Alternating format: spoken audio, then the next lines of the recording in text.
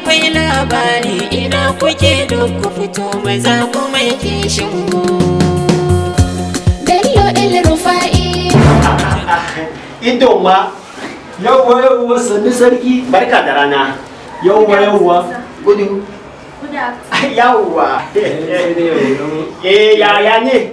wato dama na samu labari ne Eh. an ce kana ɗaya daga cikin wanda suke taimaka ma mutane a- a- dangane da maganar makaranta Eh eh to tsana ne nan gashi nan an koro mishi daga makaranta eh. shine na zo a ɗan taimaka mu a bani gudunmawa To ai kai wannan da kace gani ka zo cikin sauƙi.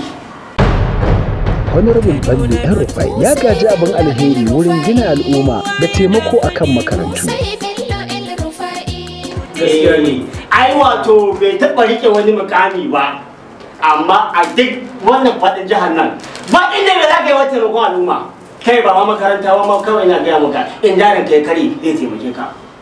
Ilimi bai ba shi baya ba. A ta matasan mu wanda muka tura aikin sojoji na gaya maka sun zama sojoji sanan da yawa. Idon ma. gaskiya ne gaskiya ne Allah Ko ba ka ba ne? gaskiya ne Yaron wannan yana can ya sa kaki.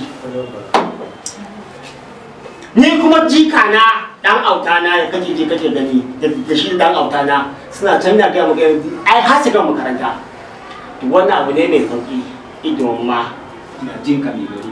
In dai Allah ya sa wannan ya hada ka da Sama'ila ya yaro aka je gurin na anti amin lawan na anti da ka gaban da ya rafa'i mai taimakon al'umma kenan. Gaskiya ne ba ruwan da bambancin yare. Alkur'an saboda haka kai yi honorable bello yan rufai barewa ba ta gudu ɗanta ya rarrafe.